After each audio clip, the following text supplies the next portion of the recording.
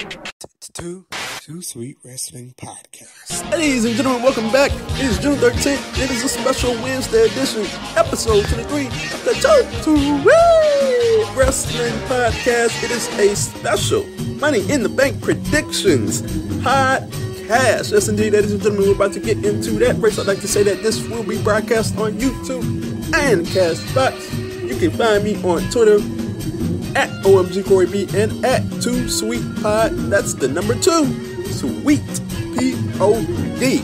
So we're gonna get right on into this. Not gonna waste any more time. We're gonna try to have some sort of semblance on this today. We're gonna put the tag matches with the tag matches. Gonna put the two women's matches together. I'm gonna put the two Money in the Bank matches together.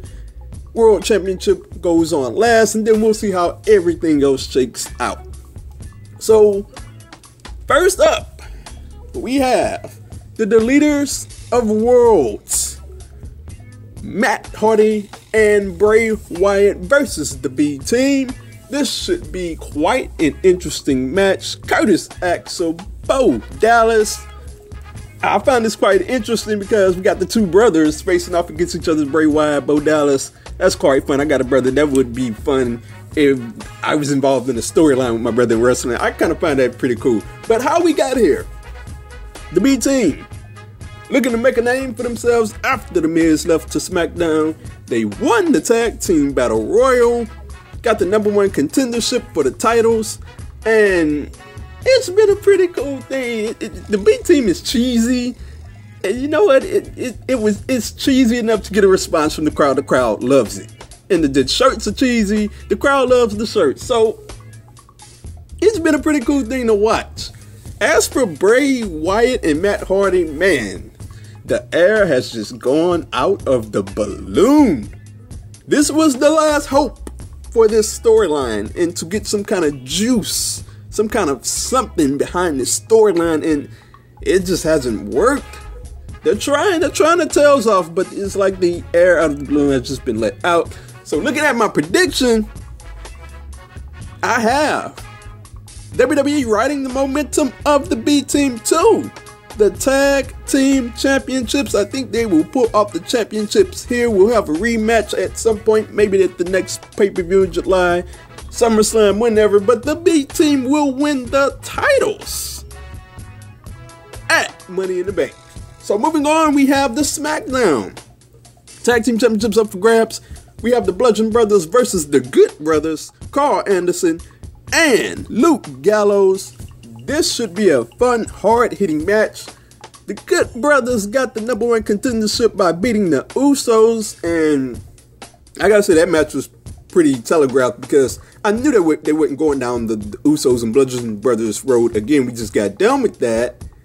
So it was pretty obvious that the Good Brothers were gonna win there. But looking at this match, this should be a pretty interesting match. I'm looking forward to it. As far as the action goes, I'm very excited for this match. I, the t- SmackDown Tag Team Championships haven't been at the forefront whatsoever, but this should be fun. Anderson got a pretty surprise win over Harper uh, on a not the most recent SmackDown. I think it was a couple of weeks ago where he got that surprise roll up win. I thought that was pretty cool. But looking at as far as this match, obviously the Good Brothers, they haven't been doing a whole lot with them outside of this, so I don't really see them coming out victorious here. I think the result, this is one of the most obvious picks on the card. And this card is full of unpredictability. But after this match, the Bludgeon Brothers will pull off the victory here. So moving on, we have Bobby Lashley versus Sami Zayn. Oh man, like what am I supposed to say here? Like I have nothing to work with. I do these prediction shows. I write my notes down, and I get to this match, and it's nothing. Like the only thing I have down written down is sisters, and because this is just where it just went downhill. The Bobby Lashley sister segment just. Next day on YouTube, I said I was so offended. I made a YouTube video about it. You can check it out under the WWE Raw section on my page. Shameless plug, that is. But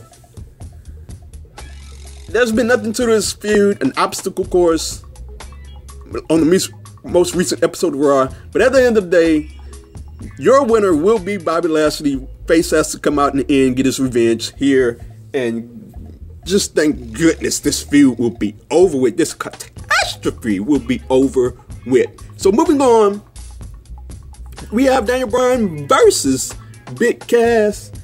Daniel Bryan tapped Big Cass out at Backlash. I think it was yeah, that's that, that was Backlash. He tapped Big Cass out, and this feud has been underwhelming to say the least.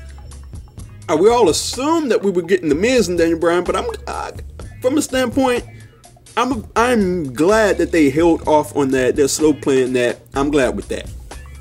But to say that we got Daniel Bryan and Big Cass is uh, uh, Big Cass. They really need to do something about that entrance. By the way, I'm pretty sure you've seen it. By the way, Big Cass's entrance. I'm not going to even go any further into that. But this build has been based on height insults. Like they have given Big Cass nothing, and Big Cass doesn't really interest me like talking about it. But they've given them nothing to say, but but to clown Daniel Bryan's height, and we can't get anything else out of that. Like ugh, nothing put into this feud whatsoever. But as for the result, look, Big Cass better win here because if, if you don't might as well fire him. I mean, fire him. He's already fired, like Ric Flair and Bischoff. Fire him if he loses this match because he has somewhere to go but downhill. Big Cass should win this match. We get a funny finish, a funny result somehow.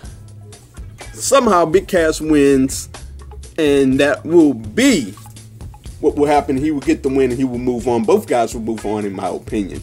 So next up, we have Roman Reigns versus Jinder Mahal and this is quite interesting. It all got started when Mahal stopped Roman Reigns from winning the Money in the Bank, from entering the Money in the Bank matchup.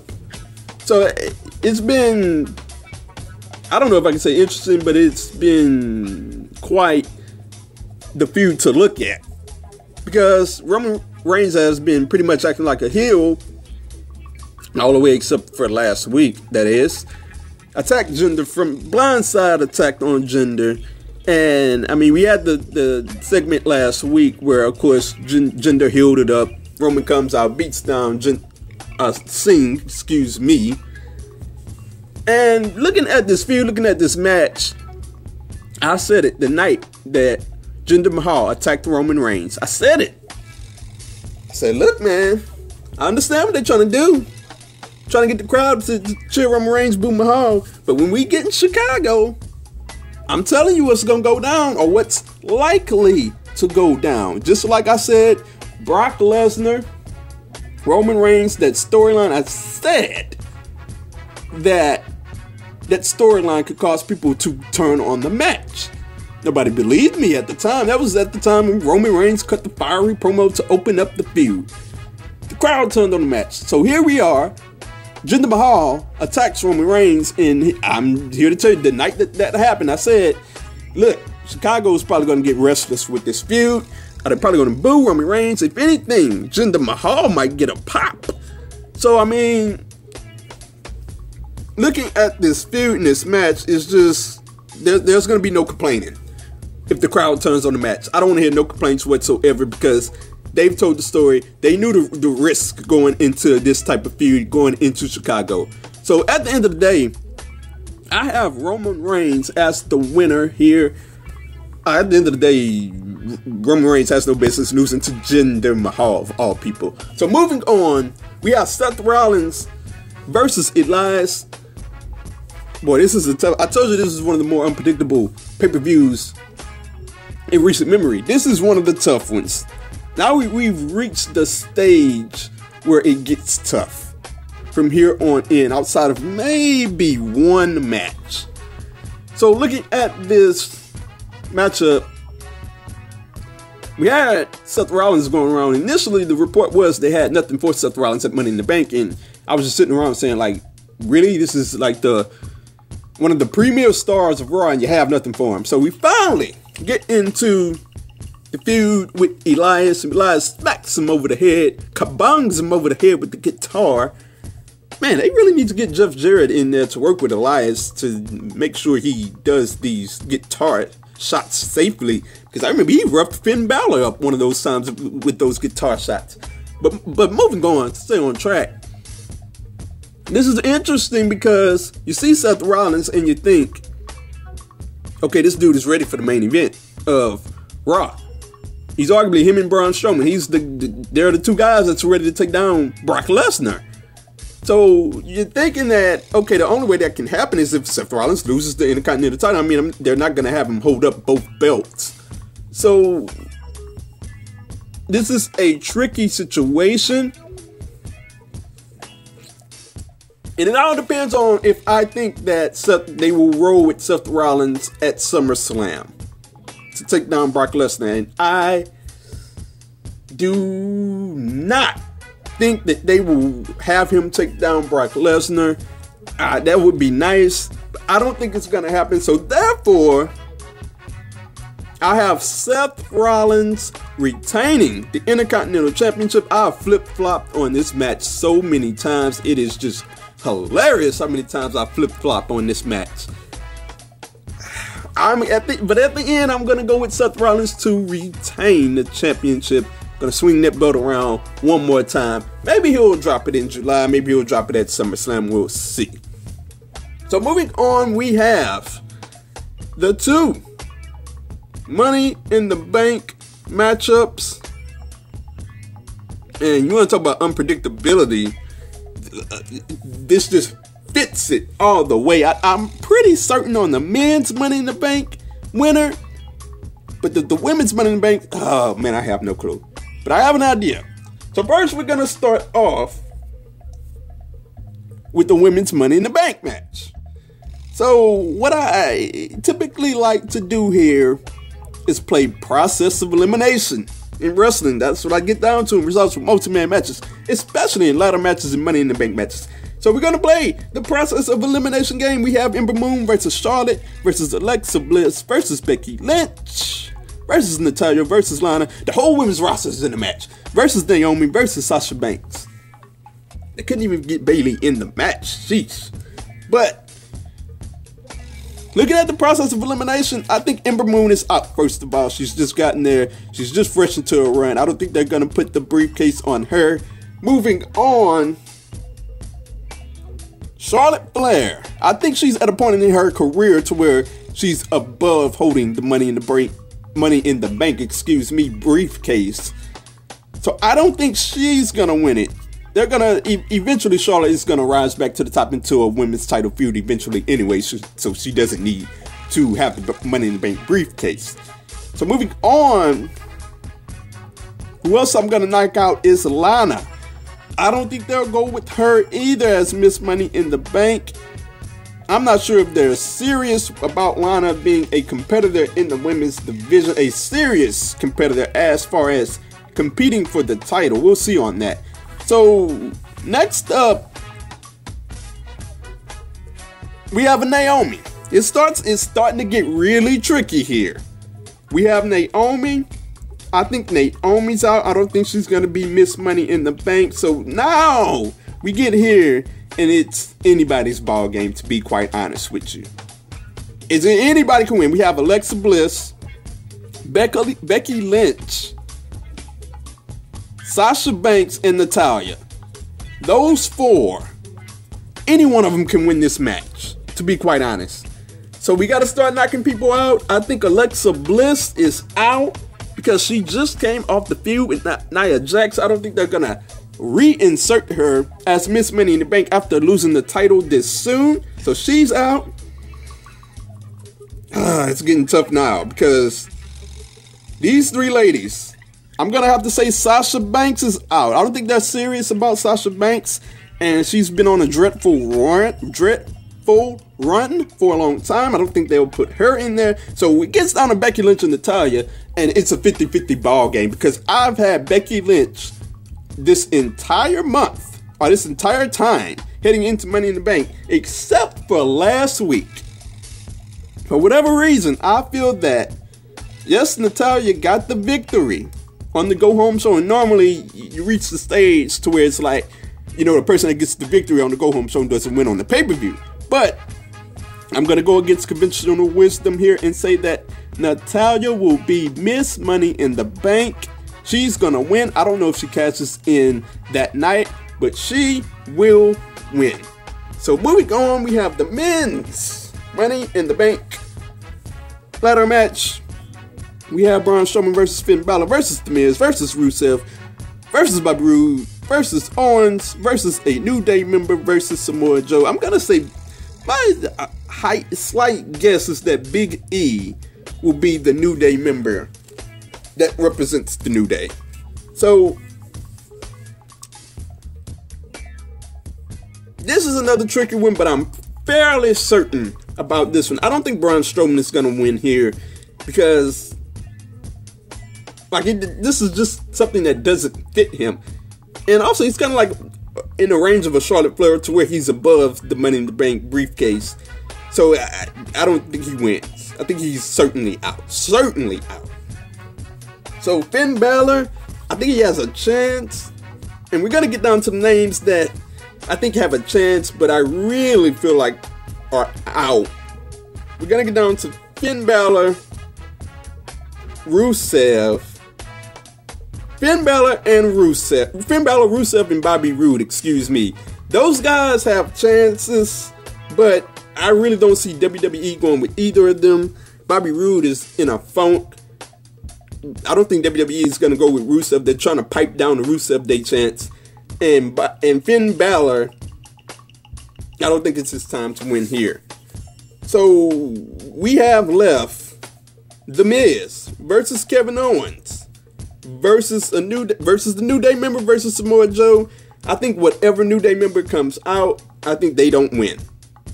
Whether it's Big E or whomever. Yeah, they won't win. So it's down to who do we have? We have Kevin Owens versus Samoa Joe versus The Miz, and we've reached the point to where it's anybody's ball game here. And from this perspective, down to these three men, I know the Miz touched the briefcase. I go on the go home show. We have these stupid wrestling rules as fans, and I totally believe every one of them. So I'm writing that with y'all. He touched the briefcase.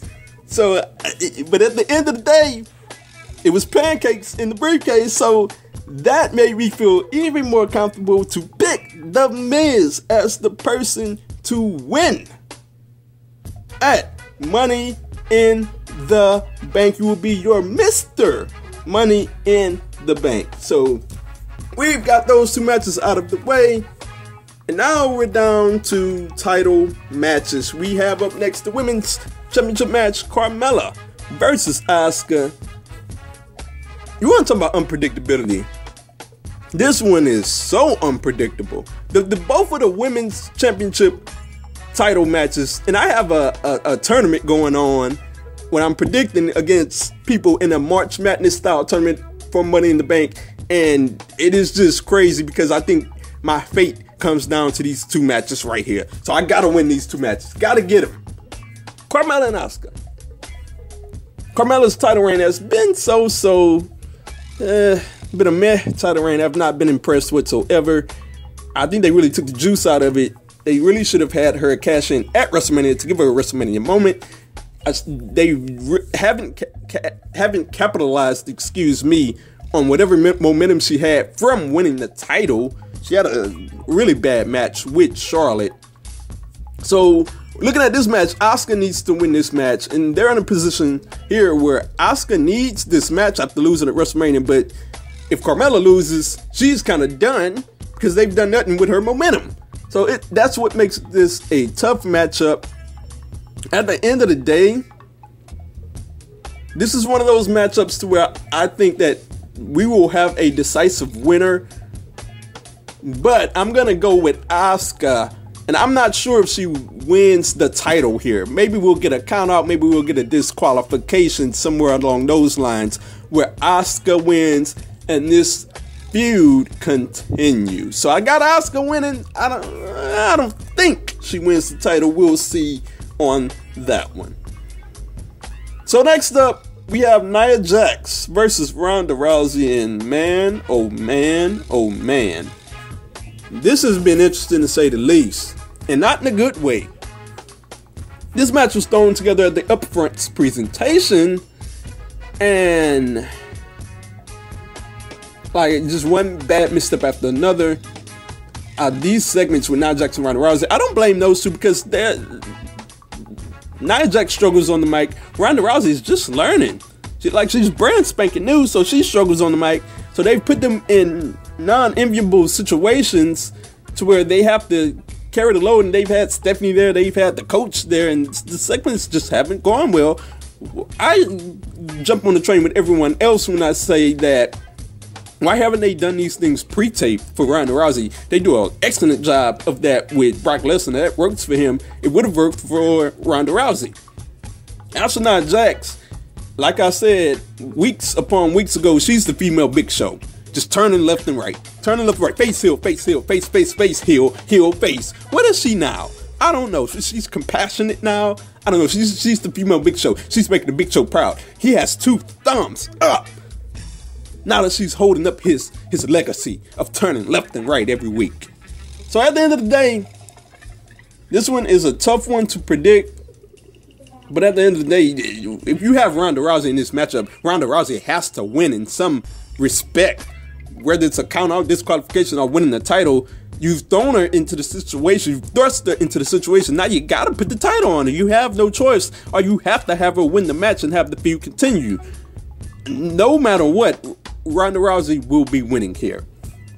So moving on, we have the world title match, WWE title match, AJ Styles versus Shinsuke Nakamura. Knock his nuts.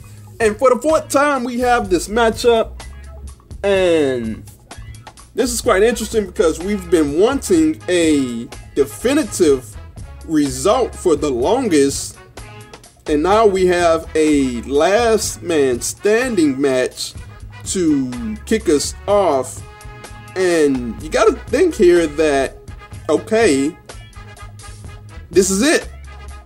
This is it. They can't possibly go with another false finish to where we look up and say, man, this feud is continuing again. They can't possibly do that.